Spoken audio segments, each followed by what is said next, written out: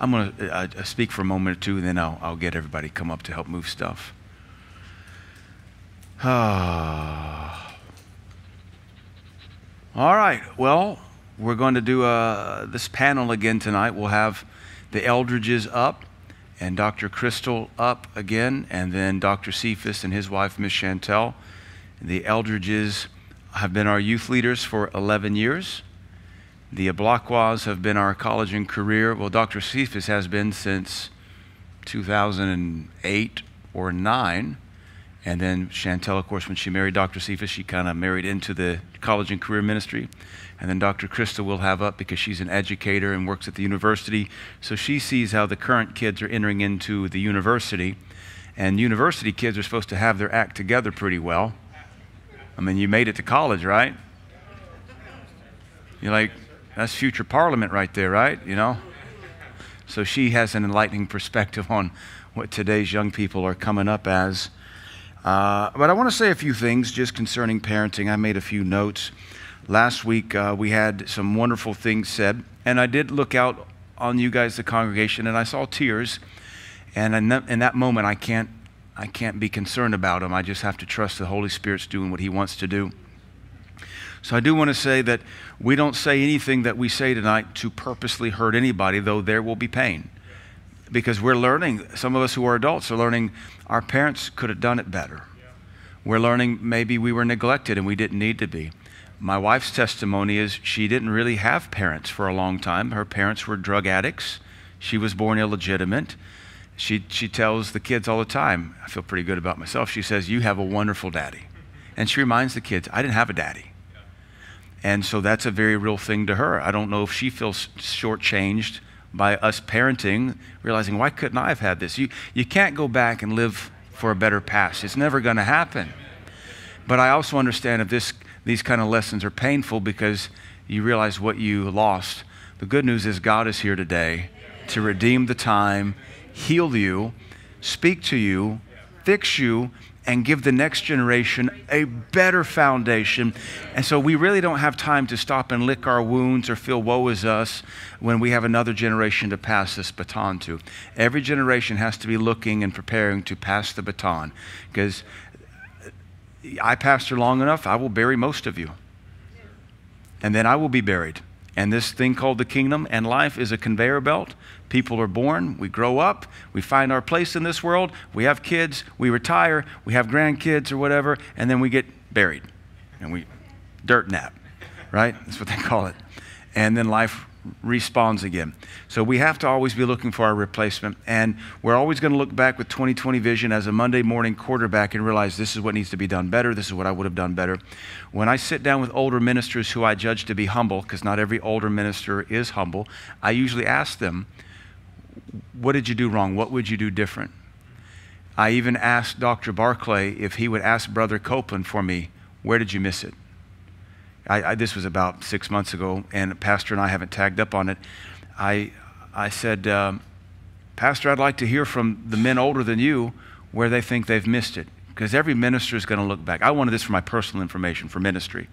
And Brother Copeland's the oldest minister still alive who lived through great revivals, and Dr. Barclay's close to him. I want to know could, could he share something? Would he admit to something and share something? And uh, that way, us younger ministers don't have to reinvent the wheel or burn ourselves when we don't need to be.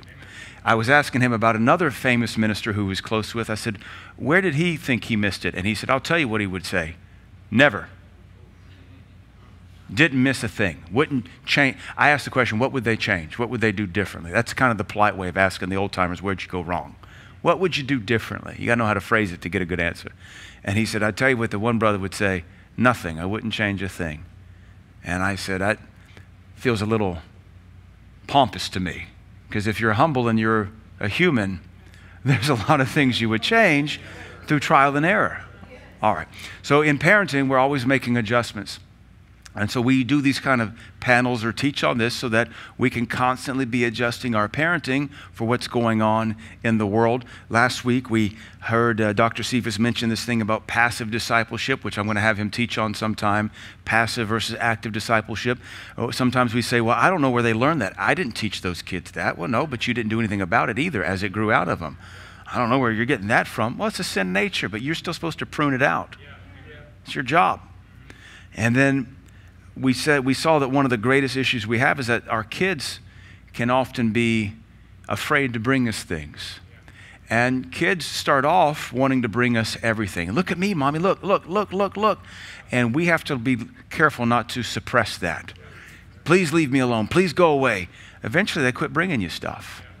Now, I get it. We're busy and we don't want to drop something in the deep fryer while we're making dinner. Honey, could you just wait a minute? Let mommy finish. We have to figure out ways to not crush their God ordained programming to bring us everything. And what happens, I make this observation, I was telling one of my kids this. I said, there's, there's something strange that happens with parents, sweetie. We go from looking at you as children saying, I can't imagine my life without you. I hope you grow up and buy the house next to us. And then sometimes in the teenagers, you're like, okay, how many months do we have left till you're out of here? Would the U.S. Army come and take you away? I'll call the police. I just can't wait to be done with you. And I said, sweetie, what, what do you think happens between the time they're five and six and the time mom and dad says, I'm done with you? The problem is really not the kids, it's the parenting. The parent has created the monster. Because if the parent would love the child consistently and at a growth trajectory as the kid's growing, the kid will be 17 and 18 and 19 and still want to bring them to things say, hey, mom, look at this. Hey, dad, can, dad, look at this. Dad, look what I did. And as long as the dad is feeding that desire for attention, the kid will bring it. But if you start quenching that because you're too busy Facebooking, or too busy gaming, or too busy watching sports, or whatever we do, to make our children feel insignificant, they will stop bringing you stuff and they will begin to go to their friends. And you and I know that's the last thing we want our kids to do. We teach our kids, your friends are stupid. Now that means your kids, because our kids' friends are your kids. But I also would help to, you would tell your kids, don't listen to your friends because your friends are stupid. And that would include my kids because they're children. All right? So we, we have to make sure that we don't suppress or crush uh, our kids' desire to bring us things. Even as an adult, I want to show my parents what I do. You know, I'm 47 years old next month, and I still want to show them stuff. But if they're not interested in it, I eventually will stop. Because I don't want to cast pearls in front of people that will trample it. And our kids are the same way. So you have to make time. Give me a moment. Let me finish doing this and then bring it to me. Hold on. Just hold, hold it right there, sweetie. And how about as they grow up, we grow up in our patience too? Because their interests will get bigger and they still want our guiding hand and our approval on everything. But you and I can teach our kids that they're not important to us. And they'll say, well, forget mom and dad. I'm going to Billy. And that can be dangerous. Uh, the other thing, I don't know if we covered it, but my heart's been rolling it around. Um, I make this observation children are so full of life, just bubbling with life. But in between bubbling with life and 13, 14 years old, they become many times sullen, stoic, and depressed. And the reasoning for this is that we get irritated with them we don't take the time to help them with their new emotions. And so they learn not to manifest any of them around us because we're just going to yell at them. Because we are the immature ones who are not mature enough to help them process the new emotions. When they're five years old, they just have like four emotions. And we can manage that. But then they start hitting 7, 8, 9, 10, 11 years old, 12 years old, and jealousy and rage and insecurity and fear and timidity and anger and resentment. All these emotions start coming to the top. And it's our job as parents to teach them how to resolve that. We should be bulletproof enough that they can burp that up on us and we not slap them and say, all right, that is jealousy, that is rage, that's not acceptable in my home. So let's talk about why you feel that way and what we do when we feel that way. But I tell you, if they spout off and they don't know what they're doing because they're a child, and this emotion just comes out of nowhere because this, they have they don't just have bodily growth spurts, they have emotional growth spurts. And just like they shoot up two inches overnight, all of a sudden they have seven new emotions and they're talking like a little adult. You think, where did this come from? Just like, how in the world are you five feet tall already? If we don't take the time to teach them these emotions, probably because we don't know how to cope with them ourselves, we will suppress all joy out of them because they're afraid to even manifest anything. So, the reason your teenager is weird is because you are a lazy, immature adult. if you can help your kids through all their emotions, say, listen, that's rage. I know that one pretty well. Got to get God to help daddy with that too. This is what we do with it. It's okay that you feel that way. You're probably justified in it, but we can't manifest it in this regard. If you'll teach your kids to bring all their emotions to you and they're comfortable lashing out at home, which is the best place to do it, and you don't lash back, then they'll learn how to temper all their emotions and they won't shut down all of them altogether. You and I acknowledge that kids go from joyful, bubbly, abounding with personality to oppressed emo brats. And it's mom and dad's laziness that does it. We cut them off at the knees because we're too inconvenienced by these things we created. And that's selfish parenting. And what ends up happening is because you absolutely oppress all emotions and they don't know how to safely, like, just, they're, they're, they're children. They, they have all this bubbling and it just comes out of them. And these are fear or terror or screaming or anger or, or just goofy elation. If we're not big enough to say, This is my child growing, just like they grow with growth pains. My legs hurt, my knees hurt. You don't say, Shut up and deal with it. You go in there and you rub their legs you give them medicine, you help them. You say, honey, these are growing pains. Your bones are growing. Sometimes people experience this. It's okay. Let me pray for you. We'll do that with growth pains, but not soulish emotional growth. But then again, maybe we've never been taught this. Maybe we were raised by cavemen ourselves and we were told just to shut up and deal with it. And so now we're adults and we don't know how to handle all these emotions that were in God that He then put in man because we're made in His image and likeness. And rage is part of God, and wrath is part of God, and jealousy is part of God, and so is joy, and anger, and sorrow, and, and elation, and peace. And we have to know how to handle all these, and we have to take time to teach our children. If you don't have time to have children, please don't have any. Children are horribly inconvenient. But when you do it right, they're a perpetual fountain of life that brings you joy and excitement, and you just can't wait to see what God does in them next.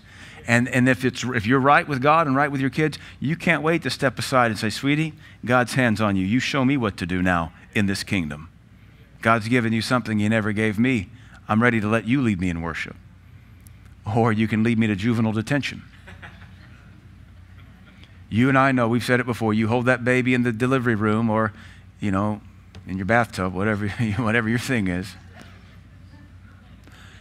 Either way, that baby comes out and you realize this is a blank slate with a destiny in Christ. And whatever they become will be 90% my doing. That's a lie. You don't know if you know how statistics work. 90% is the lion's share. well, we didn't teach them that. I don't know where they got that from. Well, your lack of parenting, too. Your lack of parenting also produced that. Uh, so if we're not careful, if we just keep cutting their legs off, they'll resort to just two major ang- uh, emotions fear and anger. Afraid to bring you stuff and always anger and bitter. Those will become the premier emotions. Uh, we also said, and then here in a moment we'll look at some scriptures and then we'll bring the panel back up. One of the questions that was asked last week where do you say our, see our children are under celebrated? And one of the answers was it's not so much that they're under celebrated by mom and dad, it's that they're nitpicked to death and it's exhausting to be nitpicked. At some point, you're a parent and you realize, ah, that stuff will kind of work itself out. I understand Hebrews says we had parents after the flesh who disciplined us according to their liking. We gave them honor and did live. How much more should we not submit to the Father's spirits and be blessed? But at some point, they don't want to hear stand up straight, fix your hair, tuck in your, what was it, U.S. military? Polish your shoes. That, that's, that's exhausting you know, you got to train them that stuff. Train them hygiene, train them how to hold a fork, train them how to tie their shoes. But that's not all they need to hear from you. And it's exhausting to be nitpicked. How about, good job, I love you, I'm proud of you. Let's see how you did that. Oh, that's wonderful. And at the same time, you're teaching them always ask for critique so that they receive your adulation and your praise and they say, What do you think I could do better? And now they've invited it and it isn't just nitpicking. Well, you know, that's a great picture. Uh, you know, maybe you I don't know, does the earth, is it shaped like an egg? No, I knew I kind of drew that a little oblong. That's funny, huh?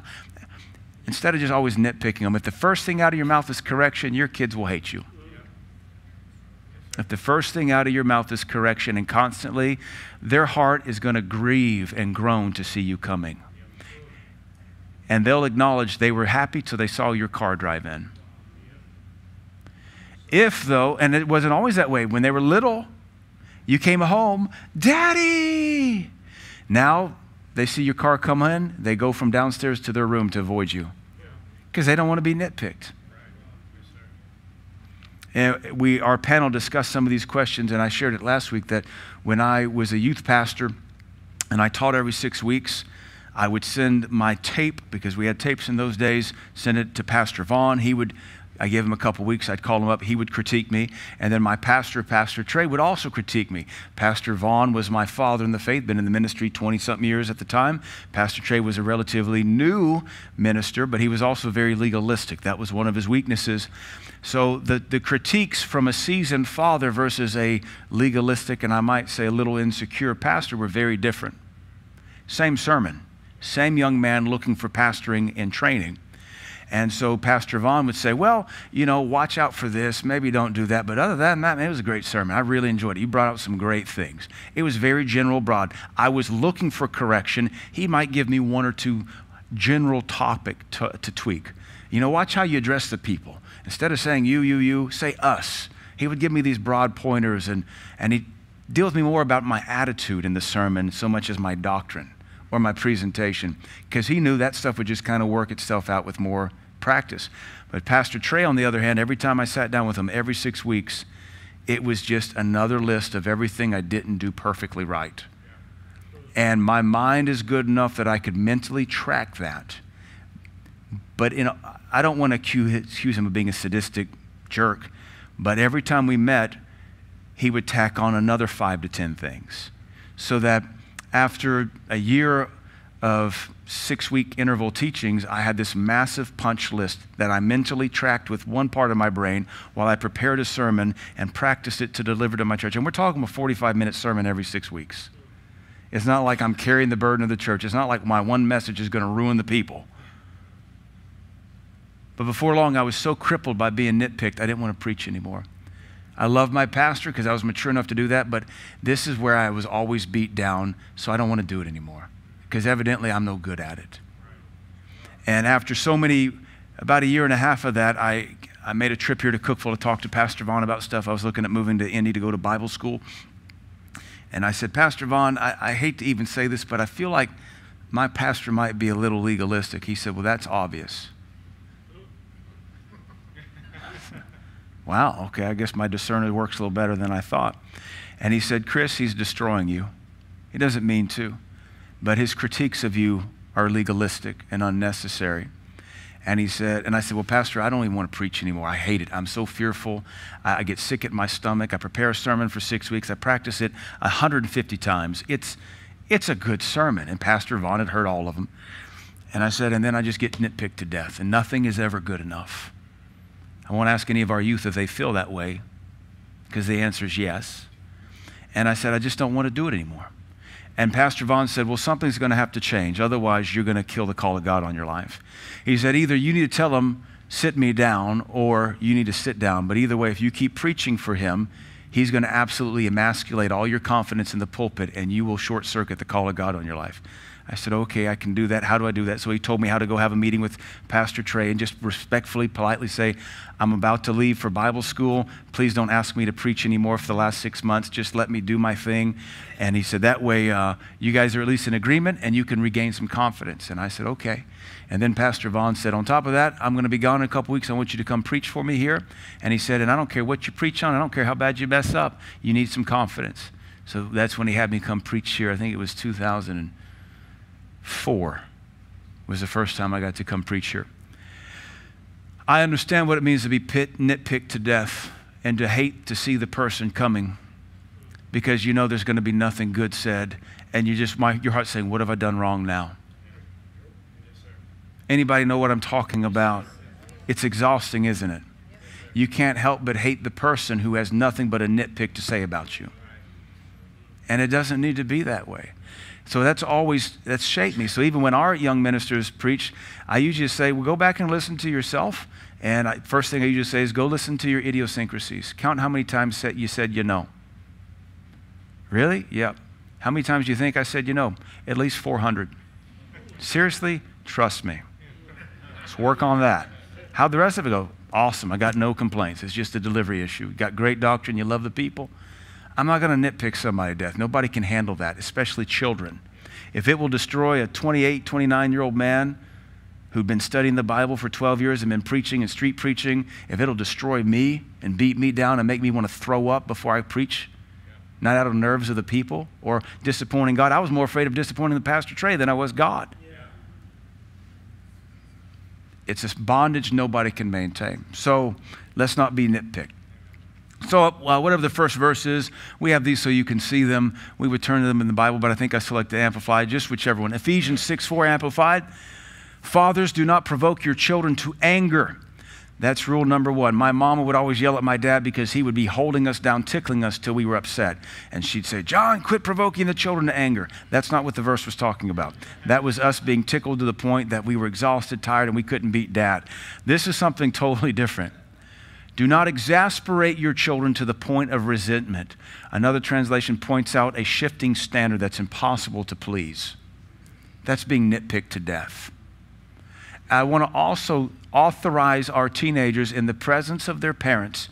You have every right to go and sit down and say, let's talk about what we've been talking about.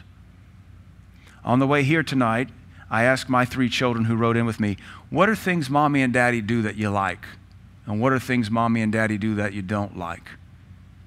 I want to know. So amazingly, my kids all said the same thing. We like it when you spend time with us. The answer was, playing soccer in the backyard, playing GI, GI Joes, uh, scratching my back at bedtime, reading a book. I like it when we can do rope work in the backyard. I like it when we can go hiking. It was everything. I just, that's, they all said the same thing, but their personalities have a different together time. I said, All right, what don't you like? All, they all said, We don't like it when you spank us. but Abdi said, But I know you have to because if you don't, the Bible says you don't love us. But I don't like it. I know that when you spank us, it means you love us. I said, Well, great. When we get home tonight, I'm going to show you how much I love your little rear end. and they all laughed. But the other thing uh, that kind of falls into line here, honey, uh, they, the oldest said, Sometimes you and mommy promise Bud a spanking and then you don't give it to him. And then she said, And I'm just now realizing that as you ask me. I said, All right, fair enough. We can adjust that. Because as you have more kids, you get lazier. Don't let your last kid be your worst grand hurrah. Amen.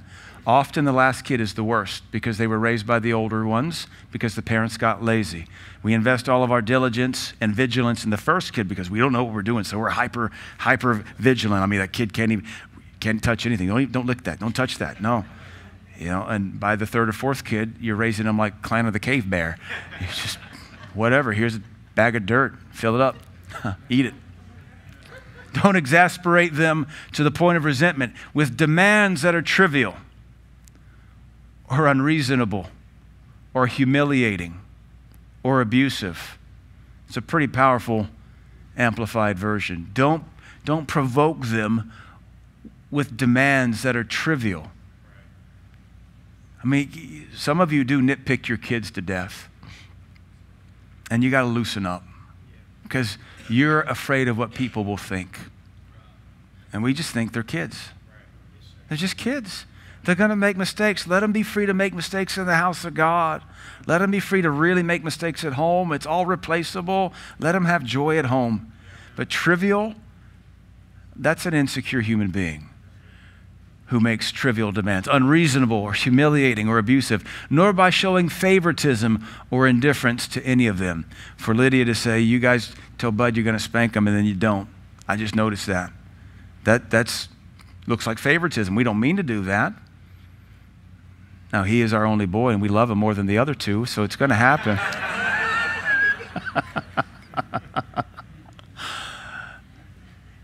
Favoritism hurts kids, so, so does indifference.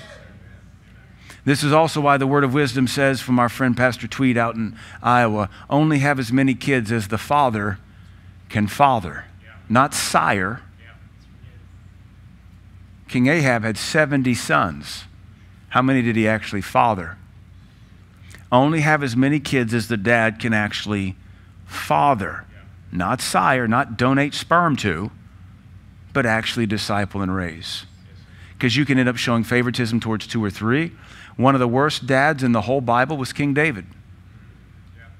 He showed favoritism towards the worst of his sons and indifference towards the best of his sons. I mean, what a fool.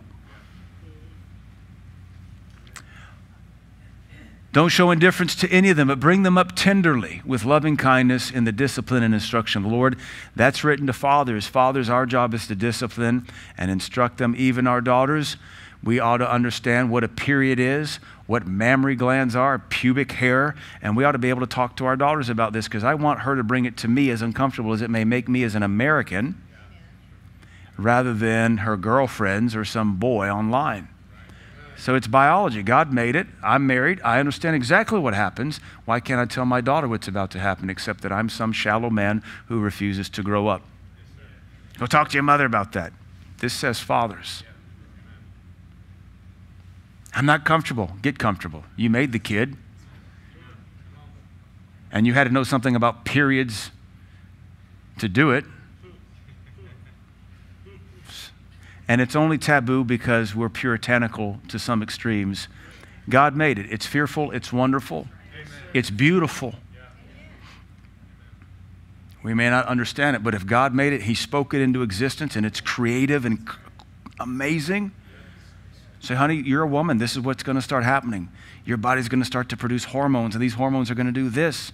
And it's a crazy thing, and it's a beautiful thing. And then it's going to do this, and, and then this. And the whole time you're like, I am so uncomfortable right now. Why am I using these words? Next, what's another verse, Schmidt, we pulled? Fathers, your job is to discipline them. How about Malachi 4 6? I guess we're working backwards towards Deuteronomy here. This is the preaching of the gospel, the preaching of the spirit of Elijah before the coming of the Lord. It says his preaching. Now, obviously, Elijah's dead. Even in Malachi, he's talking about John the Baptist, but even today's preachers are like Elijah's. We, we bring about revival, we turn people back to God. But preaching should turn the hearts of the fathers to the children. Mothers aren't mentioned here. Neither were mothers mentioned in Ephesians 6. So here, fathers are mentioned. Preaching is supposed to turn the hearts of the fathers toward their children. Parenting falls apart when dads are too inconvenienced. Dads are only inconvenienced because they have no heart for their kids. When you have a heart towards someone, there is no such thing as an inconvenience. Amen. When you no longer have a heart for them, they are a hassle and a burden to you because you'd much rather spend time on your Facebook or Instagram or Twitter. You'd much rather spend time watching sports or playing a video game. That's where your heart is, and that's why your kid's going to hate you. So, revival begins by turning the hearts of fathers to their children. If you don't have a dad, I'm sorry. Maybe your mother can be more focused on you. Maybe you get a spiritual father or a mentor who can love you like a dad. But for those of us that are fathers, judgment begins with us. And then the hearts of the children will turn towards the fathers. Well, it's hard for a kid to love a dad that they know doesn't love them. Attitude in the home will be the result of poor parenting. When a dad comes home and all he is is judge, jury, and executioner, there's going to be a rebellious attitude because the kid knows dad's a hypocrite and I'm an inconvenience to him, and that makes that kid hurt and it's either going to be a timidity and a brokenness or it's going to be an attitude. Amen. Otherwise, the Lord says, I will come and strike the land with a curse. We covered this last week that any land with broken parenting will have a curse. We see it in our nation. Fatherlessness is rising. 85, 88% of all African Americans are born out of wedlock. And now I think it's 60% of whites are born out of wedlock, 65%. It's creeping up. It's not a black thing, it's not a white thing, it's a sin thing. Here in Cookeville, our jail is full of white people, poor white people, poor white people from broken homes. Because broken homes produce crime. Broken homes produce sinful kids and rebellious kids who hurt. Most of our former criminals in this church are from broken homes with father issues. Like Pastor Vaughn would also say, the only difference between us and them is we never got caught. Amen. Just one decision away from having a criminal record. Go to Deuteronomy 6 now, Schmitty. These words which I am commanding you today shall be written on your heart and mind. When it's written on your heart and mind, it's just always there, always there, always there, always there. Paul said, You're in our hearts and minds always.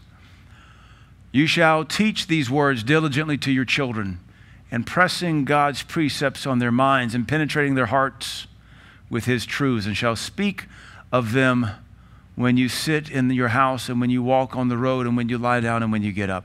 That's the dad's job. Mama does it too.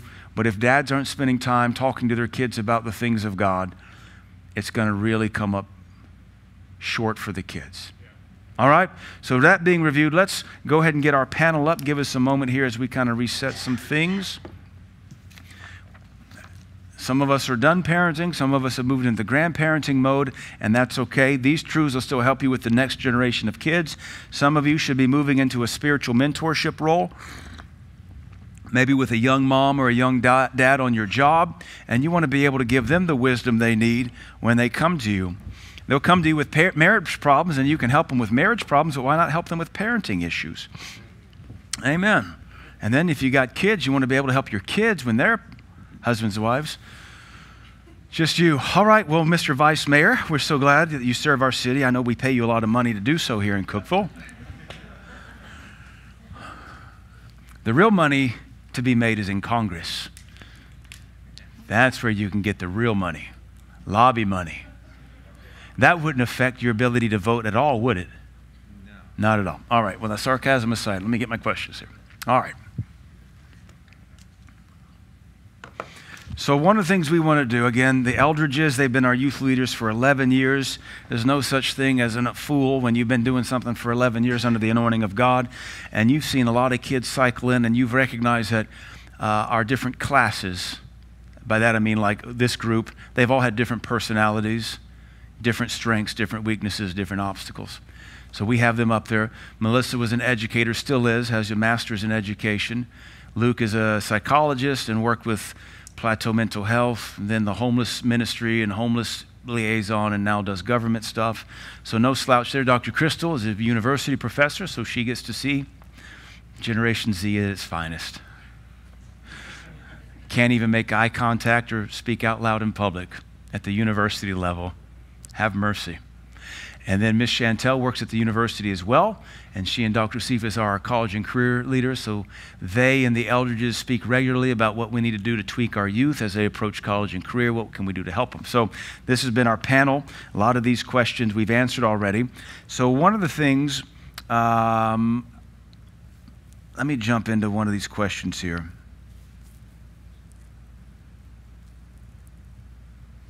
How. Uh,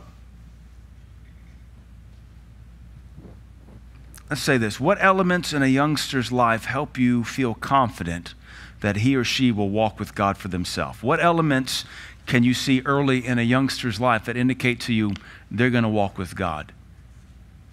Mr. Luke, I'll let you go first. One thing um, that we that we that I see regularly is that they come to us and say, "Do you think this is God or not?" Um, they're concerned about the situ- the they're concerned about the um, their their avenue in life, the direction they're going to go. College, a lot of them, you know, will come to us like we said last week. So they'll say, "Do you think this is right? What do you think about this? Can you judge this for me?" So that's good to see. Um, and most of them, you know, you like some of them will come to us and ask us, you know, what job they should get or whatnot, just for them to come and talk to us about those things. Just to present it. Just to present it. I think that's one of the biggest things for me is to see that they are concerned to make sure they don't miss God. And then it's not a one time thing.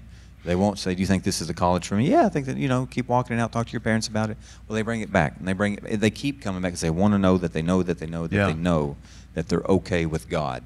So I, I really appreciate that our kids and see that. Miss Melissa. I would have to say joy when I can see joy on them, yeah. when they continue to present joy. Um, I've talked with the youth before in past years about how I see them joyfully go to children's church. They skip. They're yeah. happy to see their friends. They go in there in the class and you can't get them to stop talking. You know, like they're happy to be there. And then with some youth, you see a switch. Yeah. You know, you might see them as a seventh grader new coming in with that joy, but then sometimes as the years continue, that joy just stops. So, what do you think, having done this now for 11 years, with 11 years of you cycling through, what causes that joy to plummet or disappear? They can see through our facades. Ah. I think that's what it um, boils down to a lot of times that they see the world that they thought brought them so much joy that it's not what it was presented to be as. At home? A lot of times it's at home. It can be at school. It can uh. be ah. friendships that have you know let them down even. But um, yeah, I think a lot of this does stem from home, but it can be just in their normal walk, wherever they're at. So I think when even our oldest and youth that have joy, I'm not as concerned about them. Yeah. You know they they are pursuing things and, and they're happy and like he said, they bring things to us. But the ones that don't have joy are usually the ones you find sitting there, not talking to anyone, secluding themselves. So I feel like if they can maintain their joy and they can maintain a relationship yeah. um, with their parents and with leaders, then that will cause them to have a walk with God. So then, what can a parent do other than, let's say, a parent is observant enough to recognize their personalities changing? What can a parent do at home? To help them maintain joy, help them interpret what we're seeing around us. What, what do you think a parent, what do the successful parents do? I think exactly what you were talking about. And when you see those things, don't nitpick them, but spend time with them. You know, your your kids still have joy because they know that you're going to go play soccer with them or you're going to do these things. I think when you see their joy start to plummet, that's when you you don't sit them down and have two hour lectures. Oh no. That's when you say, "Hey, we haven't gone to the movies, or hey, I haven't taken you to the park in a while. Why don't we just go? Yeah. Enjoy yourself. Enjoy. Just and I think sometimes we get so wrapped up in the spiritual and the doctrine, and we think we got to put more scripture in them. That's no. not even necessarily no. the case. They just need to see and feel that we love them because we talked about this last week about how they will, in spite, do the opposite of what we do if they realize that we're false, that we were fake the whole time. They yeah. will do it in spite. Oh, yeah. They don't even want to serve God. So let's show them that we love God and we, we want to be a part of their lives, and that will help continue that joy in their hearts and in their lives. Does that make sense? Yeah, absolutely. That's a good that's a good word of wisdom for us, Dr. Crystal. Let's read the question again. Uh, I don't even know what it was. What is I don't even know. What, oh, what elements in a youngster's life help you feel confident that they will walk with God for themselves? You can see Christians at the university level. So what's what's helping them? What do you see in them? And then even here, just speak from your experience. What what traits kind of predict this kid's going to walk with God? I think it's kind of connected to what the Eldridges, Eldridges just said, in that I can see students who say they're Christians, and then I can see students who look like a vibrant walk with God, and other kids can be discipled by them. Yeah. And I see that they have what I listed as an independent appreciation for the Word of God being true and God being uh, just and God being loving. And they like have that solid conviction for themselves, which allows them to take their questions to God, allows them not to be afraid, yeah. allows them to know independently that they're loved and not just that I do a church thing. Because students who who say, you know, and I, I can talk to them once they identify themselves as Christians to me, right? They, and they bring that to me. And so I'll, you know, I ask them things, and you can hear the rhetoric that's just kind of what I do at home with my family. Because when I ask them questions that, you know, they're what I know of them is not showing that they're in line up with, they, with what they say they believe, it'll often be because they don't actually independently embrace that. Yeah. So they don't have a sense of uh, God being real for themselves. They kind of just walk it through their church culture yeah. or their parents. So away from that, they don't hold on to that. So I so think they're just that, espousing rhetoric. Yes, sir. Yeah. Without any real, this is the central tenet of my own existence. This is how I'm living my life. Yeah. Because they will disconnect things like, um, I gave an example because my rate, my professor says she tries to make you read. And I teach history, so I do. I try to get them to read, and they don't like that. So I use example.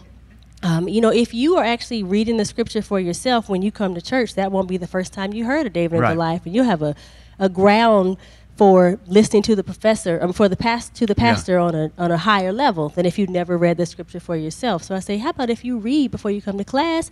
That'll help you have a better interaction. And so, I was telling that example for a reason, but I lost it. so if that comes back, maybe I can share it. Well, so what it comes back to, let me let me dovetail on off of that, and that if if then they're just they just have a faith tradition and it's not a walk with God, that may come back to mom and dad represent God to them first and foremost. And if we don't demonstrate the love of God, the justice of God, the mercy of God, then we just become the vind- of God, the vindication, the wrath, and they're going to hate us and hate our God. So, well, yeah, I was raised Christian, but that's not really my thing. That's my mom and dad's thing more than anything. So that comes back to us living it at home, so there's no facade. Our, par- our kids seeing their parents read their Bible at home, pray at home, repent at home. For some reason, Word of Faith got really allergic to repentance. For some reason, Word of Faith leaders taught this heresy that says you shouldn't repent to your kids. And that's one of the most apostate things I've ever heard out of the Word of Faith camp. Not everybody, but some prominent names my mind's thinking of. I would never repent to my kid. They're under me. You're a fool and you're going to lose your kids. Kids need to know parents are human. We make mistakes and we owe them apologies. And they want to forgive very quickly. But they, they want to say, they want to hear us say, We're sorry, please forgive us. And if we can't do that, they're going to hate our God because if we don't repent and if we don't tell them we're sorry or they're sorry, we forgive them when they repent, they're, they're going to have this obscure understanding of repentance and forgiveness. And that's a, that's a standard no kid can live up to. So it'll just be a faith tradition. That's the faith of my fathers, it's not mine. We have to pray that our kids become like Jacob and say, The God of my father will become my God. And we've prayed that for our kids, that they, the God of mom and dad would be the God of our children. Do you remember it? Yes, sir. You Hallelujah.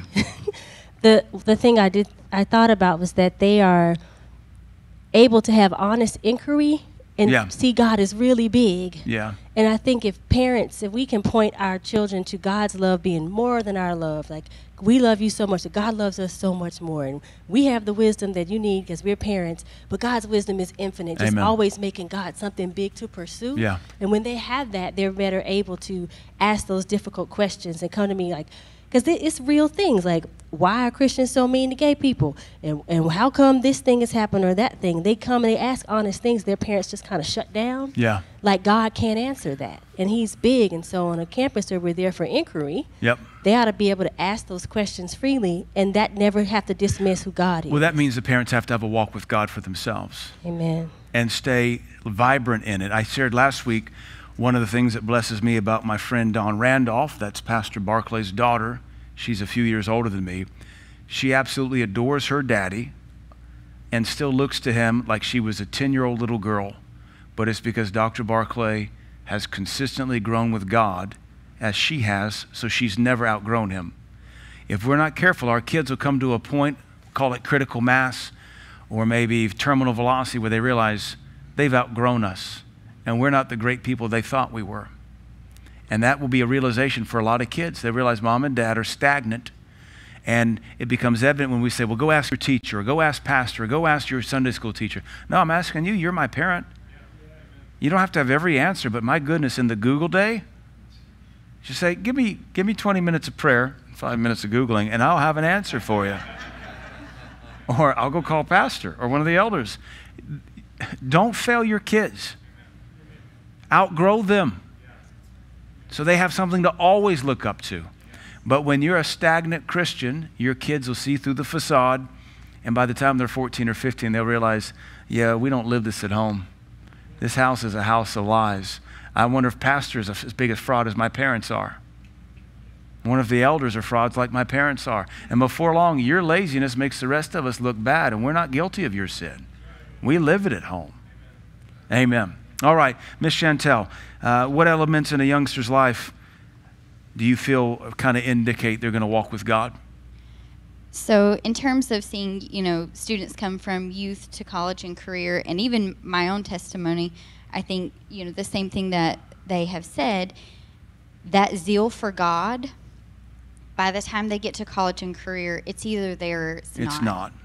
And if it's not there, those are the ones that usually are plucked off and, you know, go to the world. And it's enticing and it's hard when you're raised in church, right? Yeah. Because this is all you know. But if they don't, the ones that um, in college and career, we we intentionally we don't chase your kids. Yeah. It is different in youth. They have Wednesday nights. They talk to the Eldridges, and it's great. And we want we will be whatever you want us to be, but we don't chase college and career age. They can chase us, and if they do, and I have some that do, and um, they want to meet, they'll call, they'll talk, and those we will invest whatever we we can in, and the others they're going to go on and do whatever they're going to do. Yeah. And that's not because we don't want to invest in right. them, but that zeal for God, you can't make someone have that. They have to have it for themselves. And I think it's it's a critical age during youth when they have to catch that because that's when they are coming into their own and they are making that faith that is their own and either they're like I really kind of don't want this. The world and sin is more enticing than Yeah. church because, you know, these people don't judge me, but my parents nitpick me to death, Yeah. you know, and that's where that, um, I think it's pretty much the same thing, either having, and I think it's kind of zeal and joy are not exactly the same, but if you have zeal, you have joy. Yeah. So, for what it's worth, I feel like that's um, that's kind of the thing that you can tell when they are coming into college and career. Those that chase us usually do have that zeal. And as you say, as you talk, I think it's hard to have zeal for God when you're nitpicked to death at home, because that's oppression. You're oppressed, you're exhausted, you're always just afraid. The heart is, what have I done wrong now? Which means they don't have much faith in their parents' encouragement. What have I done wrong now? And it's hard to think you can please a God who is perfect and righteous when you can't even please a parent who you think would at least relate to your fallacies.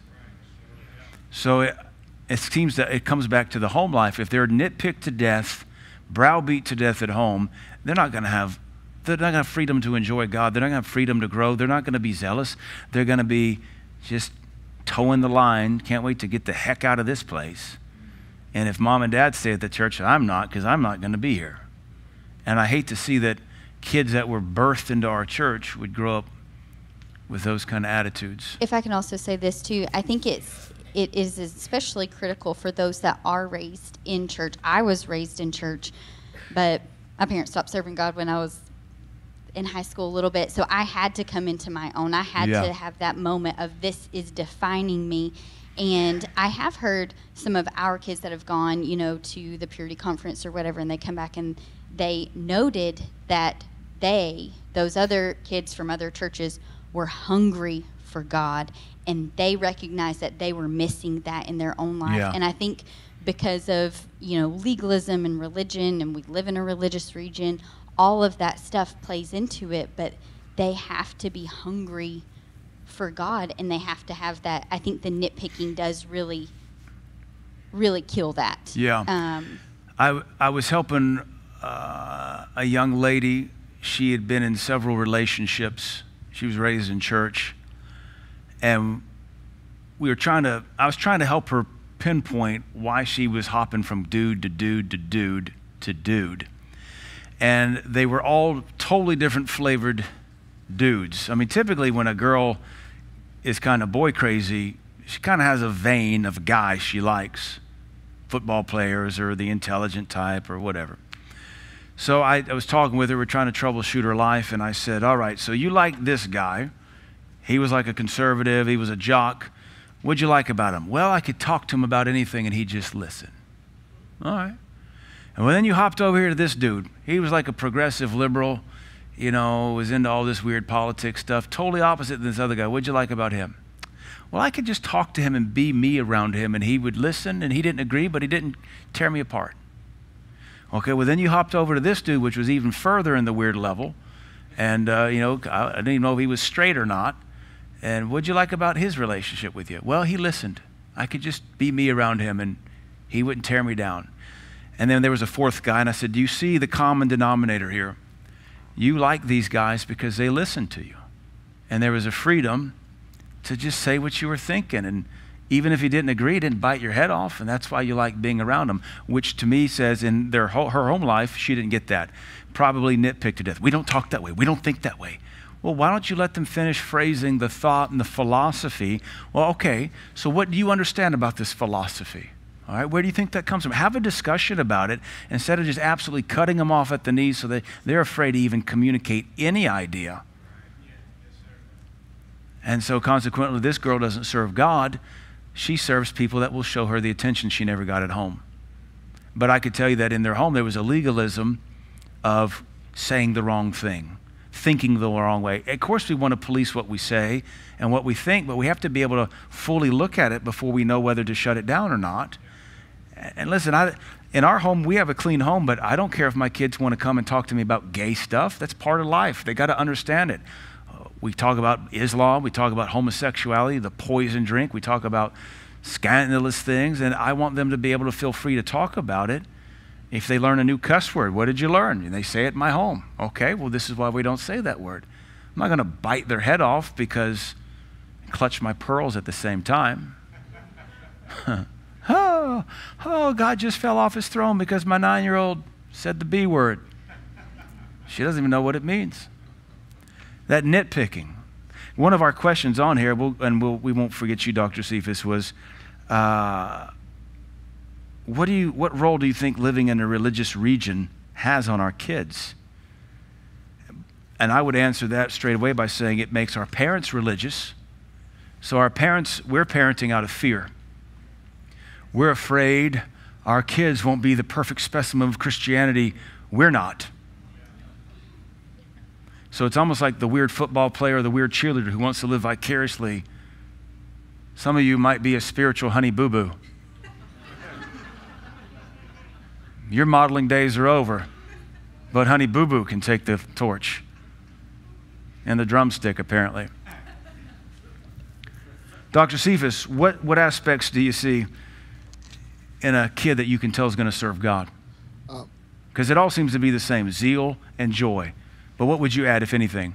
Um, so I think those things are the biggest things. So I'll try to add something different. Um, I think some of it you just hit on, but weaning the kid to be independent. For us, we deal with older, closer to the older age. So if we know that, in, you know, 18 is our legal where you become an, an adult officially, and God honors that to an extent, and you know that, and you, you've taught by 13, you know, yeah. it's we're done.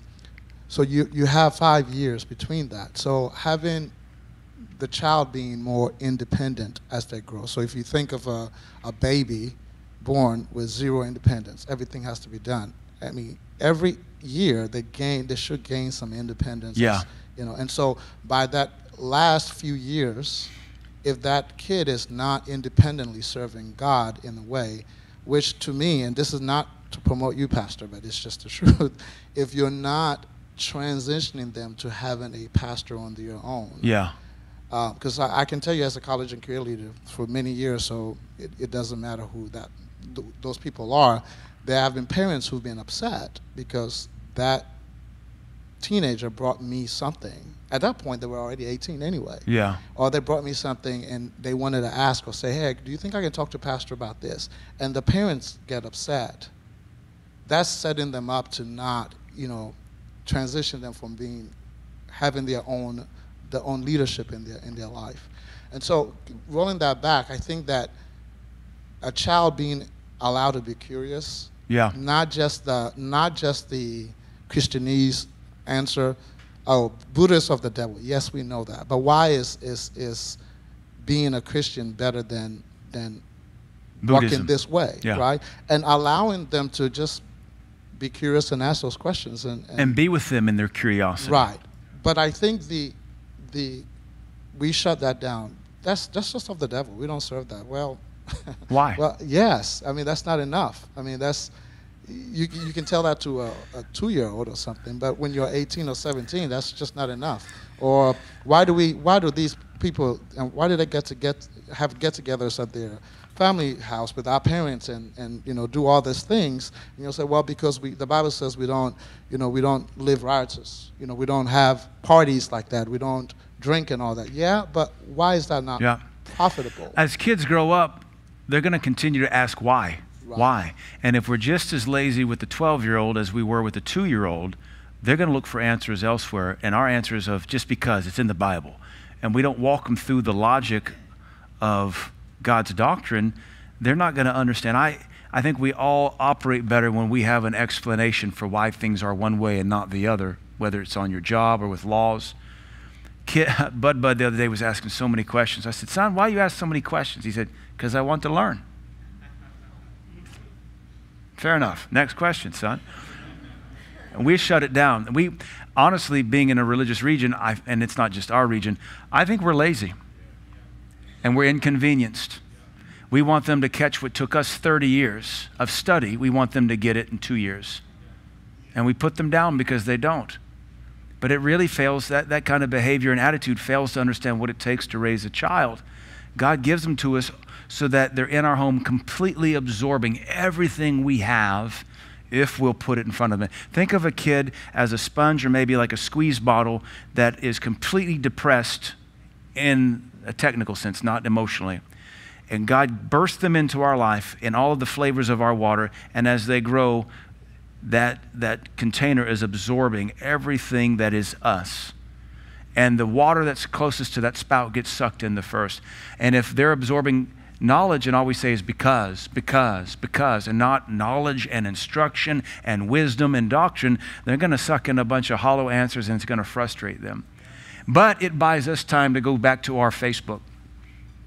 It buys us time to go back to golf or rock climbing or video gaming or whatever lame thing we're wasting our life on.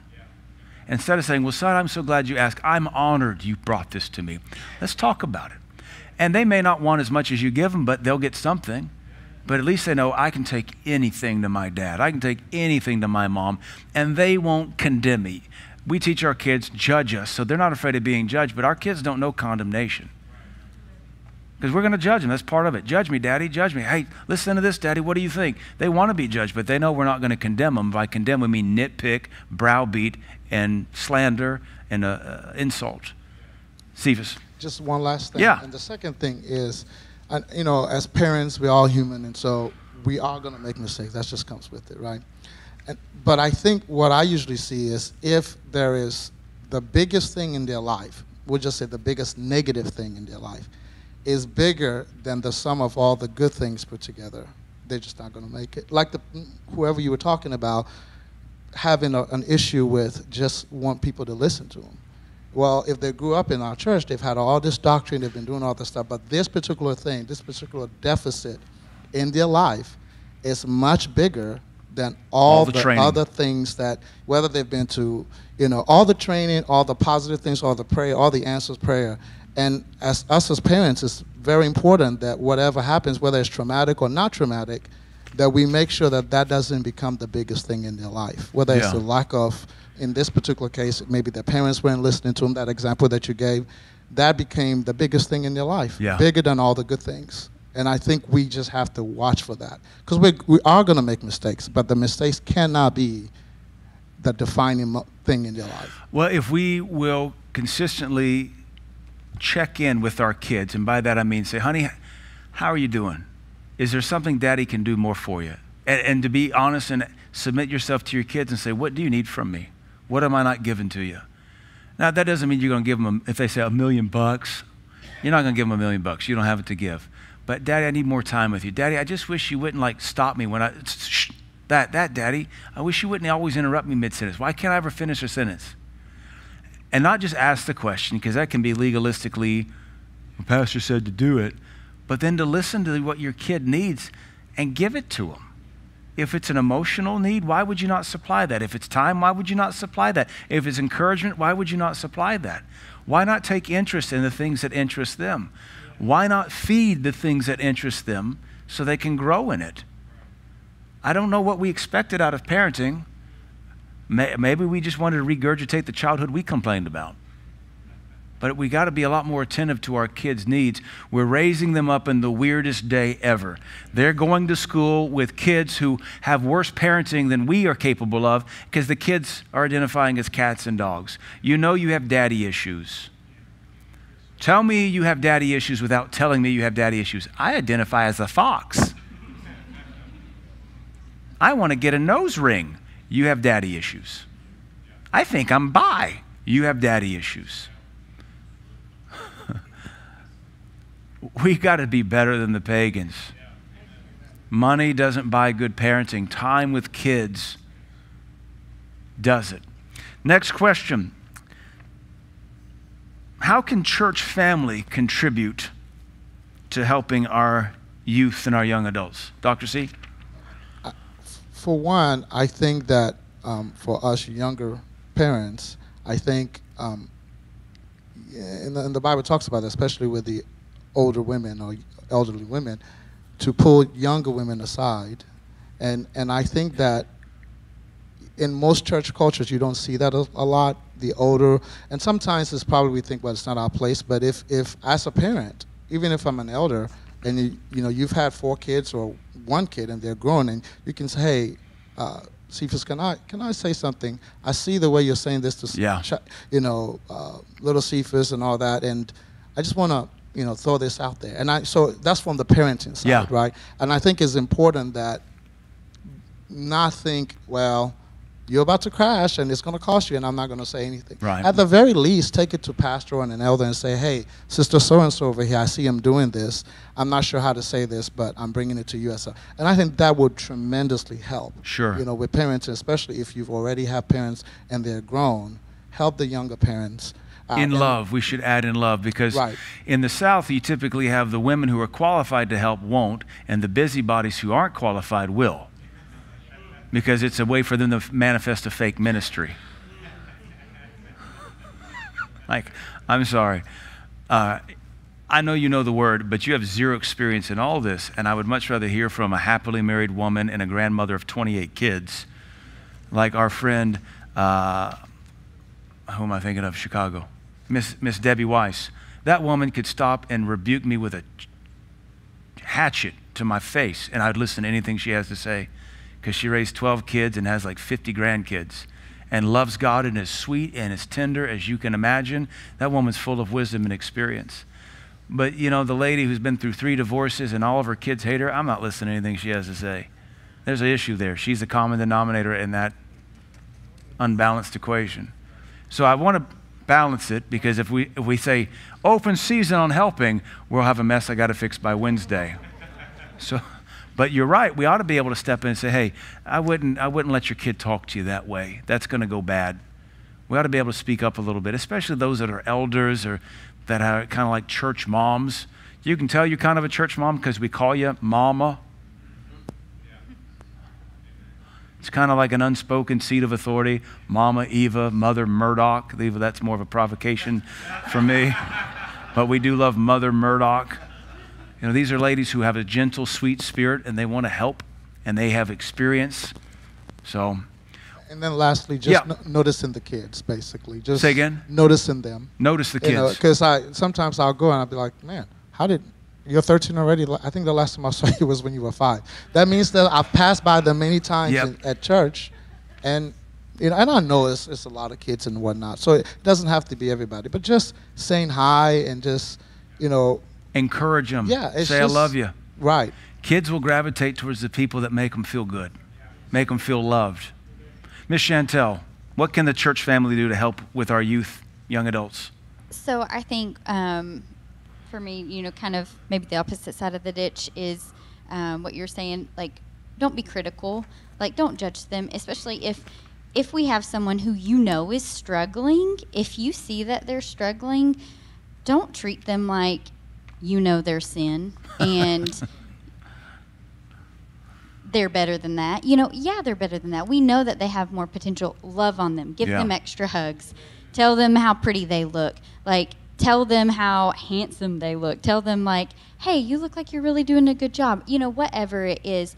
Just don't be critical. Don't be judging. They don't need another voice like that. No. And, you know, and if you didn't, and I, I, I don't mean this in a bad way. Hopefully, it doesn't come out bad. But if you didn't maybe do the best with your own kids because you were critical, maybe be mindful of that in your helping of other families, you know, or, you know, quit exporting failed goods.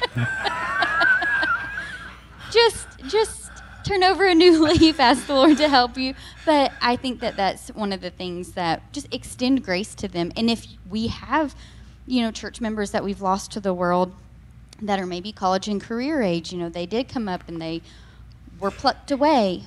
If they come back, don't make them feel like the black sheep. Yeah. Love them extra because they need they need that. At least make them feel like, "Oh, hey, like okay, everybody is not going to hate me yeah. coming back to the house of God because that's a humbling thing. Like yeah. if you're coming back to the house of God where everyone knows you backslid. This is not a big church. You know, you love can't slip in. So glad so, to see you. Yes. Yeah. Just give them a little extra love.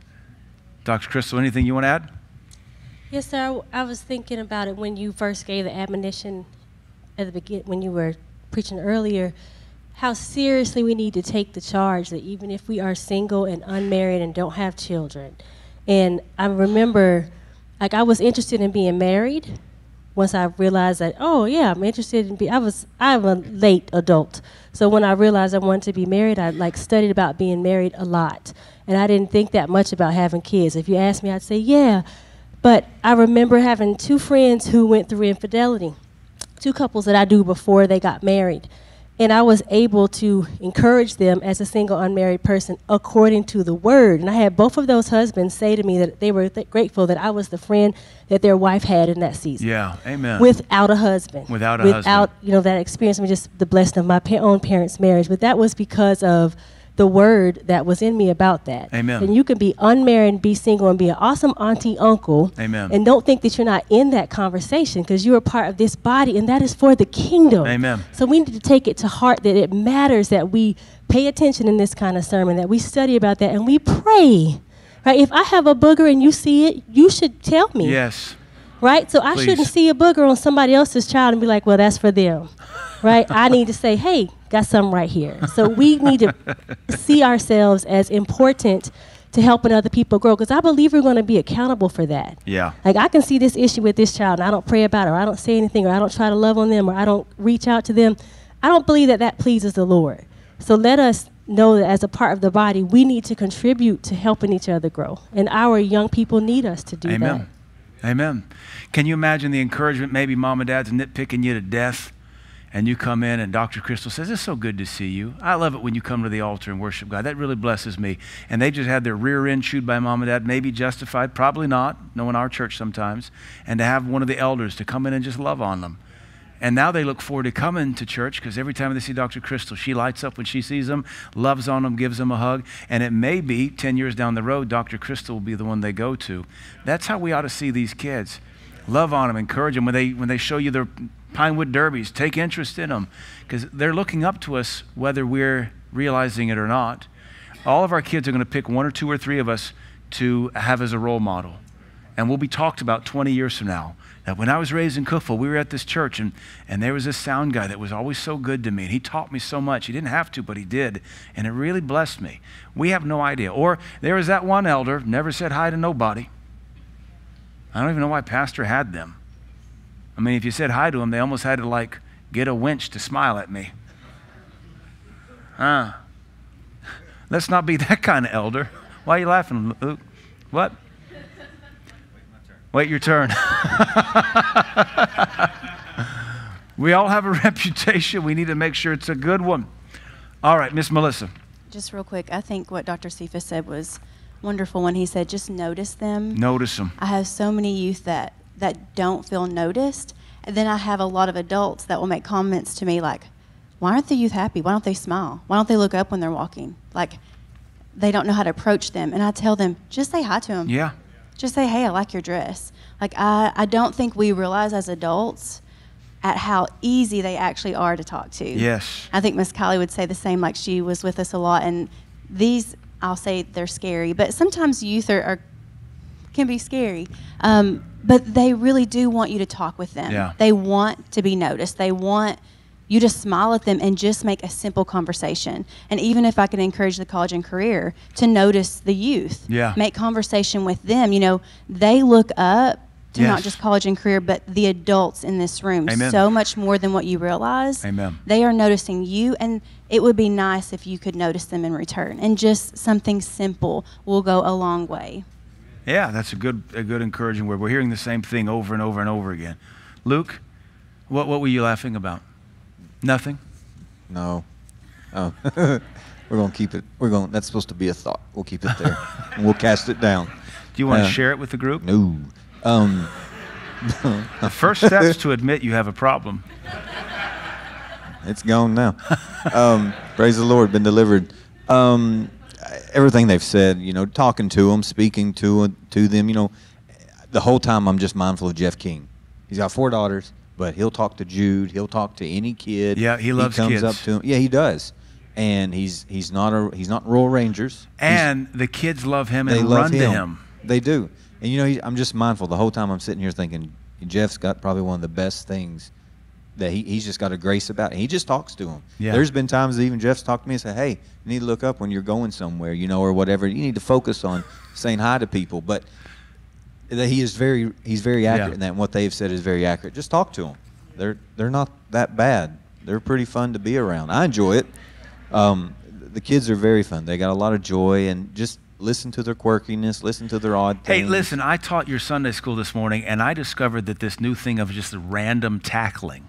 Yeah. Like that sounds, I'm not old, but I was like, that feels like hurt. That feels like a bruised rib. Our kids randomly tackle each other. Yeah. Yes, and the youth leader, I heard about that. Oh, they had to, they had to kept they talked over me. They said, "Oh no, Mr. Luke tackled us, and Mr. Luke bruised Gabe, and Mr. Luke put bruises on Serenity." Well, and I tell Jude, I said, "Luke, you know old enough to know that hurts. You're old enough to get hurt." That's what I tell my son. What kind of so, wisdom is that? It's great wisdom. Jaden, he had a nice little scab. Well, right apparently he got beat it? up quite a bit. Well, he he loves it. So, are you saying we should tackle? He, he really does. We should tackle these kids in the hallway.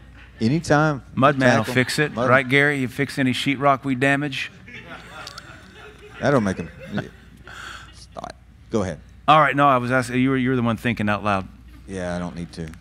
So just notice them. Yeah, just notice them. I mean, talk to them. Not just hey, but really have a conversation with them. yeah. them. It won't go long on some of them. so, but you know, it'll be all right, and you'll get out of there, and you'll be like, all right, I did good. All right, let's do a final question here. Pastor. What? You already talked. Did you remember something you forgot from last week? Yes, sir. No, sir. Oh. yes. It was for this one, man. Okay, yes, you may add something. We can encourage parents too. Oh, yeah. And help people with their baby bags and baskets uh-huh. and opening the door. And that's that's kind too. Yes, Helping ma'am. parents. Let's do that because people really nice to you when you're pregnant. All kind of doors and baskets, but after the baby, not so much. So how about we warm up to that?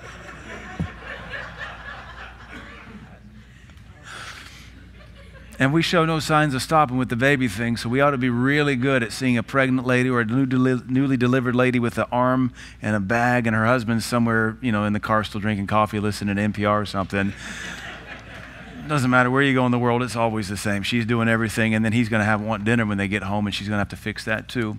But you're right, we could at least help them and teach that man what chivalry looks like, or even how to spell it. Last question. What are some suggestions for how families might begin to address some of these topics at home?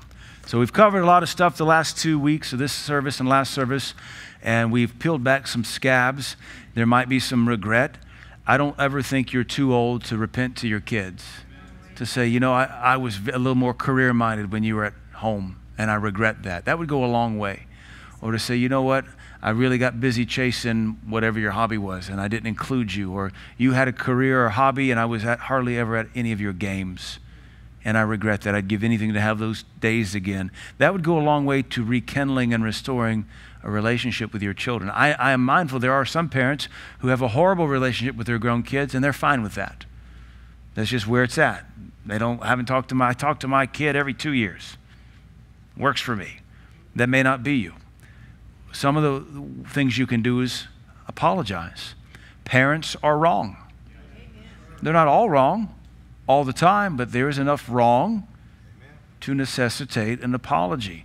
Your kids will love you and respect you more if you can admit, I was wrong. And honestly, it might take some long term pressure off your kid for your kid to go, I thought, I thought that, but I felt like you always made me feel like I was the failure.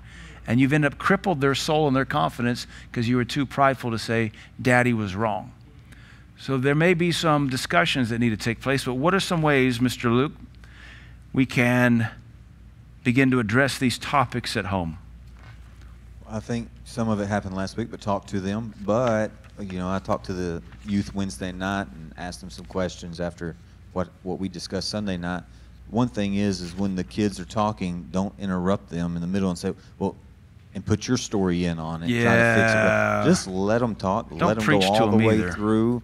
You know, well, this is how mom and dad. Well, th- well, because sometimes what we do is we want to finish that sentence. We want to finish that because we've been there before or we've been through that. But a lot of these kids just want to be able to tell you how they feel and go, you know, and go on and say, all right, well, let's work on that. But don't stop them in the middle of what they're talking about to answer the question, like you said earlier, because you got to let them get it all out. You got to let them, because you may actually miss what they're trying to say because you think you we know where they're going with it, and just let them let them all the way through.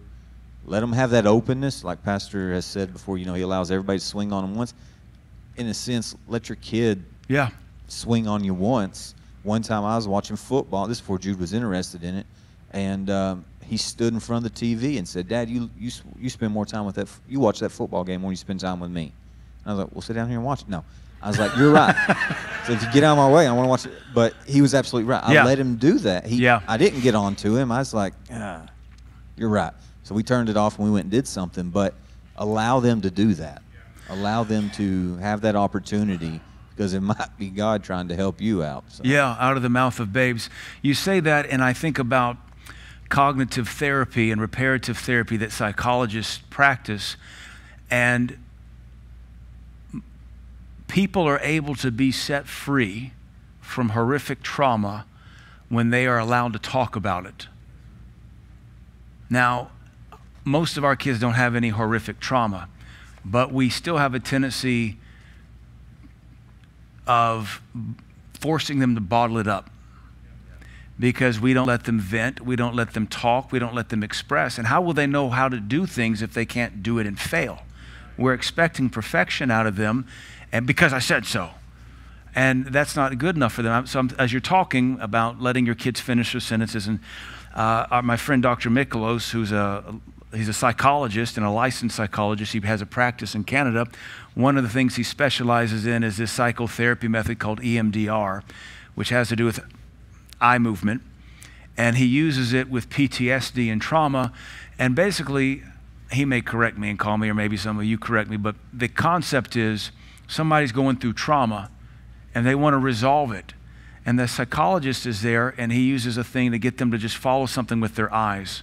And my understanding is just by getting them to follow something with their eyes, it kind of distracts them because they're having to focus on this little light. Sometimes it's just a finger moving back and forth. And the psychologist is then, then asking them questions. The psychologist is taking interest in their life. So tell me, you were deployed in Iraq. Yeah. What was your battalion? Where were you stationed? And they just start answering questions. Was it tough? Yeah. Were you afraid for your life? Almost every day. Did you ever suffer anything horrific? And then all of a sudden they break down and start sobbing. And it's something they've bottled up. And they've been so expected to just hold their junk together that now the psychologist has been able to break that thing so they can now share.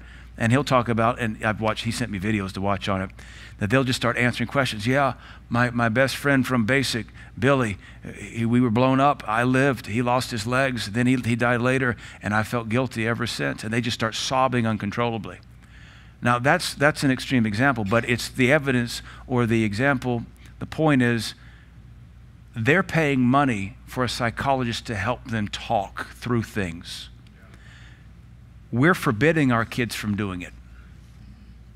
And they're just trying to process their day or their emotions or the jealousy we're invoking in them by favoring their brother or sister. So, psychologists have had to pioneer this to help broken people in adulthood when, if we were just decent parents, they would always come and be able to safely puke in us. And we were mature enough to handle it and say, well, let's talk about that. Why do you want to punch that person? What's that going to accomplish? Shouldn't we rather maybe do something instead? What should we do instead? I know I should pray for them. Oh, okay. How about you punch that pillow and then we pray for little Timmy? No, shut up. Grow up. I don't want to hear that. We're better than that. We're McMichaels. We don't cry. Deal with it, son. You know what you're taught. Quit disappointing me and your mother in our church. And that kid's going to say, I tell you what, not going to tell them a dang thing the rest of my life. And it's taken us 300 years of psychology to fix bad parenting. When the kids had a natural line on it in the first place Daddy, look. Daddy, can I talk to you? Mommy, can I tell you? Mommy, I have a question. Mommy, I'm scared. Get over fear. We're not afraid in this house. God's not giving us a spirit of fear. That's stupid. Well, why are you afraid? I mean, just being some kind of like religious word of fake freak and quoting a thousand scriptures rather than helping them process. Why are we afraid? Uh, Bud Bud's been struggling with the dark a little bit, and I love my, my wife doing homeschool work. She said, The Bible says God made the darkness. We don't have to be afraid of it, sweetie. God made it. The Bible says God dwells in the darkness. So, what is there to be afraid of? God made it, He dwells in it. You're going to sleep in it. The angels are in there. And to see her use logic as He vents rather than being some kind of hard nosed word of faith, you know, apostle, prophet, right reverend preacher, you know, when you have more titles than Jesus does, you're a nut. There's nothing to be afraid of here. What are we afraid of? And then you give them scripture. So, I like it. Let them finish. Let them finish. They should not be afraid to bring you anything. They should be able to feel safe to puke on you any frustration, any fear, any offense and accusation they have against you. Because they're kids, they're trying to learn all this. And if it can't be done safely in your house, maybe they were born in the wrong house, which is not the case. But that's why we're talking about this and growing up. I went back and forth with, but we do teach our kid, all of us, we teach our kids how when you have issue with somebody, you take it to them but when it comes to us, you, you shouldn't do that. No. Don't yeah. bring it to me. Don't bring. You who are you? Who you? Yep. Mind who you are, boy. That's what we want them to be. We want them to be that independent when they get it on. They want. We want them to be that. So we got to allow them to do it at home. So if they can do it at home, they have the confidence and they have the know all. Because you're going in that moment, you can guide and teach them how to bring it. All right, that you made a good point. Don't see how you shouldn't say it this way, but you know you can guide them through it. But do let them finish because one thing I was going to say earlier is this is not you time, this is them time. It's them time. This is for them to talk with you. It ain't about you, us as parents. I won't say you, say us, but it's about us. It's about them. It's not about us. And let them talk, and then we help navigate that versus, well, this is what I did. I, no, navigate that time. Don't worry about, don't bring up your glory days or your unglory days, your holy or unholy. Just focus on that at that moment. Yeah. Miss Melissa. What was the exact question? um, why do you love being married to Mr. Luke? How long do we have? You won the lottery ticket. You found it in the parking lot at Tech, didn't you? Walmart. Photoshop, wasn't it?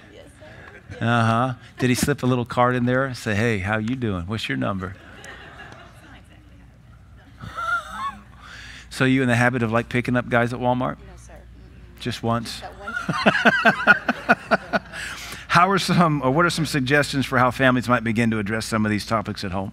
Okay, so um, I think your youth, I'll speak for the youth, are ready to talk now. Yeah. So um, we asked them if they had good conversations after last Sunday. We got some thumbs up, yeah, you know, kind of iffies. So if I could encourage you to do something kind of legalistic, is make a list sit down with them, maybe not tonight if it's going to be too long, you know, to talk about this, but like he said, don't interrupt them and make a list of the things that they are bringing to yes. you. Yes. Don't try to fix it. Nope. Don't try to give them scripture. Just make a list of, of all the areas that they're bringing to you crazy, good, whatever they are. And then you and your wife make a game plan. You know, maybe even give it a little time where y'all are praying about it, where you talk about it and come up with a game plan on how things are going to get better. Because I think we all have good intentions as a parent right now. In this service right, right now, now, we're all envisioning the changes we're going to make. But two weeks from now, we're not even going to remember this service. That's our reputation as yes, a church. Sir. We, we, we walk softly for two weeks and then we go back to being lame Yes, sir. So that was going to be my kind of, if we as parents could do this, make this list, and for a month, we pick a date as a family to meet and talk once or twice a week. Amen. And we just do it and we show them that we are following through we're discussing it with them. We talk about the issues. How do you think this is going? Do you think this is getting better? And let the youth have these real talks with Amen. you. Um, because again, we can't just keep, they can't keep bringing things to us and we do nothing. and we do nothing with it. That's, yeah, it's it strips hope. they want, they want, yes. Um, a lot of us are good, are good at listening, but we're not as great at following through. But also, have mercy on them. I feel like some of our youth feel um, that they get beat up, but they have these issues in their life because they've learned it from us. And we get away with it every day, and you make them feel like failures when they do it. I'm, that might have been a little harsh. I'm sorry, but I'm just I'm just throwing that out there Say so you guys realize we really need to again. show them mercy with their mistakes and their downfalls right now because they are watching you as parents have those same issues and same downfalls and you get away with it And, yeah, daily Daily. Something Miss Manna said to me a while back. It's been, say, it was you know at least three or four hundred years ago because it wasn't recent. Just so you know, I've grown. But I was getting on the kids for attitude, and I was in a funk. So this has been at least you know nine years ago. but she said, "Honey, I think it's hypocritical that you expect our daughter to change her attitude instantly when you've been in a funk for three days." And there's nothing you can say to that but just keep your head down and say, hmm. And on the inside, you're like, yes, I know she is so right, but that's not the point of the funk. The point of the funk is to make everybody as miserable as hell. but and if you don't mind me adding i think even as husband and wife a lot of us in this room don't have that relationship where we can just talk it out with each other so i would honestly Well, that's what happens when you get a guy from Walmart. Because they are taught how to like roll back prices and be friendly. But if I could encourage you truly, that is what has saved our marriage many times is that we talk it out. We just tell each other the way it is. He doesn't blow up on me, I don't blow up on him, and we make plans on how to fix Amen. it. So, just to throw that out there, as husband and wives, you are probably going to get a little offended at each other because Sure. you're going to see that this issue in your child is his fault. Yep. That's her fault. Yep. But you have also got to be willing to just talk, and your marriage will be blessed because Yep. of it if you'll just hear each other out and be able to have those tough conversations together. go through that punch list and, and judge it back and forth as a parent. Say, you know, our daughter's right. You do this. There's two witnesses right there, Dad. Or you know, right? What? Our son's right. You do this, Mama. There's two witnesses, and be able to have these raw discussions, because that's where humility brings the grace. If if we are just so hell bent to be right, we're not going to have any change. And the thing I wrote, I see with some of our young people, not just the ones now, but this is a common attitude. Our our our youth youth in general will get to a place where they have a better hope of getting out of the house than they do for their parents actually changing. They have given up hope that their parents will be what they need them to be, so they just say, I just can't wait to get out of here. Many a kid has walked that out and said, they, they just come home, they just two more years, just one more year, just six more months, and they just deal with it. They just deal with dad and his attitude and mom and her shrinking. They, they compartmentalize, they dissociate. Yes, sir, yes, ma'am, yes, sir. So they're compliant kids, but their heart is already laying the groundwork for escape because they have more hope of leaving than they do mom and dad being human beings. That should not be our testimony. We should teach our kids how to change and how to grow, how to repent, how to improve, and it should never stop. We should not be spitting images of our own parents. We should be better. All right. Sorry, but she did. All joking aside, we do have a really good marriage. She does really good. She can talk to me and correct, bring stuff to me. But dads, it is we're the leaders. It is up to us to make these changes. It really is because we are the head, and this it stops with us. It starts with us. And but we do. We have a we do. We have a great marriage. She brings a lot to me and tells me, "You need to. I need you to do this. I need this from you." But And then you do it. eh, I do it, and then you, and then she's even good at the whole. It's two weeks. She she helps with. it. Don't for, don't get in that two week cycle. Don't get in that two week funk. Amen. But she's really good at that, and that's what all of us do need. Men, we all need that in our life. But as men, we've got to, and dads, we've got to make sure that whatever our wife brings to, us, we need that list too. That not the do list, not the honey do list, but the list of make sure it, you've got to have that list with your kids, and you, like she was talking about, and we stay on top of it and don't expect mom yeah. to stay on top because it, it's not mom. She does have the grace, but God gave those kids to us too. Amen. And all those scriptures are commanded to the husbands. And, and all everything about everything is commanded to the husband. You get a break, but, but no. Uh, Make me a sandwich. I'll go fix it all. Dr. Crystal, let's move on here because we got to wrap this thing up. Yes, what are some suggestions for how families might begin to address some of these topics at home? I say, first of all, appreciate that we had this panel. And I thank you, Pastor, for saying yes. And it's been so very helpful to Amen. me and to so many of us. And I thought about the fact that you it's okay not to answer right away. And then yeah. Miss Melissa put it so beautifully with making the game plan. So you don't have to answer right away. You can wait and, and write it all out. And as, as we do that, let's remember to keep a good attitude. Because when you we, people say, "Oh, she's got an attitude," an attitude is a personal problem. Yep. It means something is going on with you. So if you have an attitude with me, or I see you with your attitude as we're interacting, but you don't communicate to me what's going on with you, you can say, "Girl, I got a headache. I'm sorry.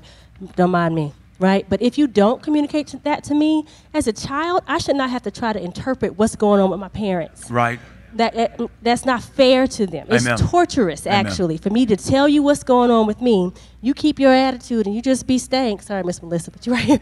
You just keep your attitude, and I don't know. I think I have to then think about what I did, or are they still mad at me? Yes, and so we can allow our kids not to have that if we would.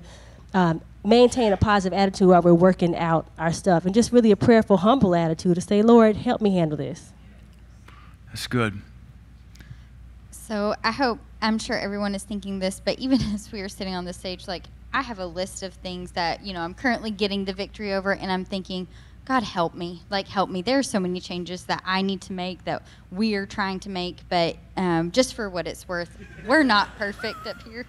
Um, but I guess to address um, the question, I think the first thing um, is to just apologize. Yes. It doesn't matter how old your kids are as a 30 something year old woman, um, I, there are things, my parents are not together, and so there are things that happen that still hurt me. Yeah. And you know what? I just have to get over it yeah. and move on with Jesus. Amen. But if the parent that has hurt me would apologize for that, do you know how far, it would go so far? How far that would go? I am in my 30s with children, and, and that apology, it does. It hurts.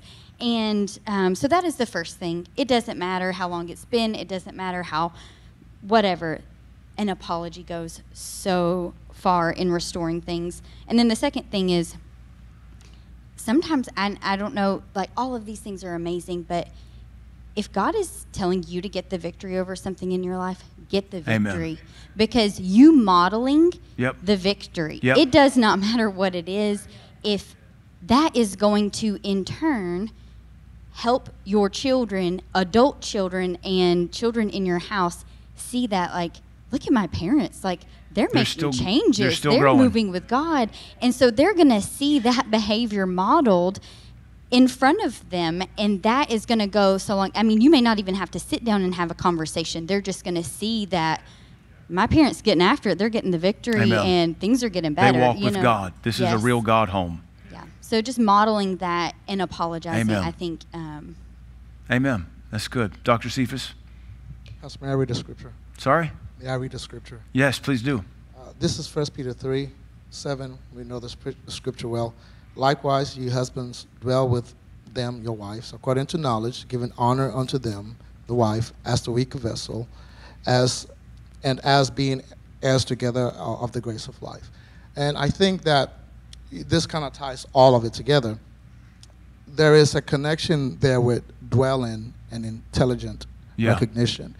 And in this context, it's talking about husband and wife, but it does go for parent yeah. and children. Yeah. That if you're going to dwell with any person, you have to have intelligent recognition, knowing them, and not just them, but knowing yourself. Because we parent out of our personality. So if I know my personality is, if we get in a conversation, I'm going to dominate the conversation.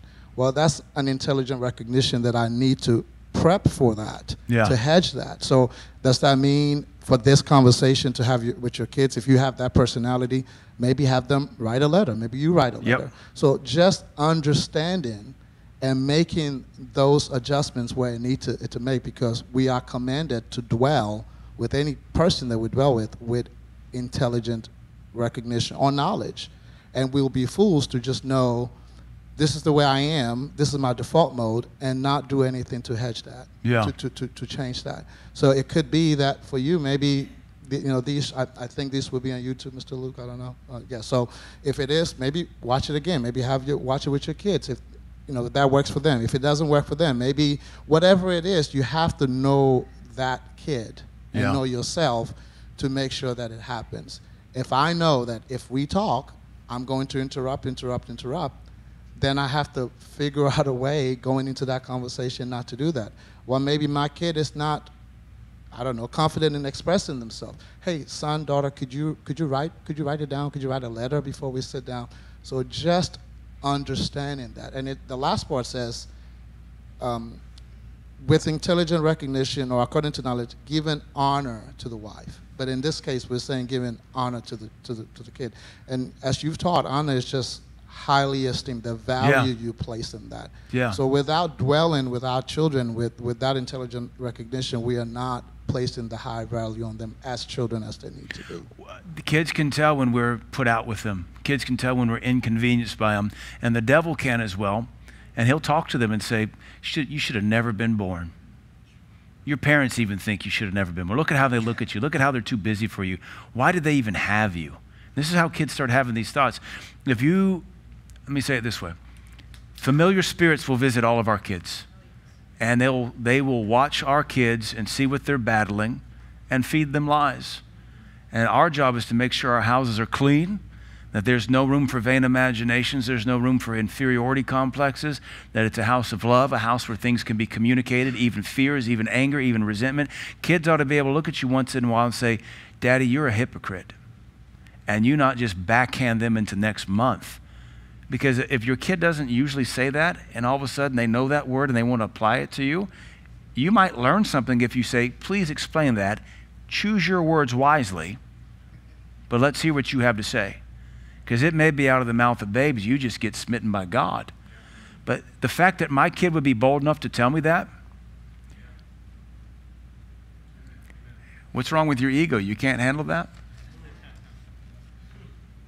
I'm sorry, your dad was a failure, but that doesn't mean you got to follow in his footsteps. Now, if your kid calls you a hypocrite every day, obviously there's a problem.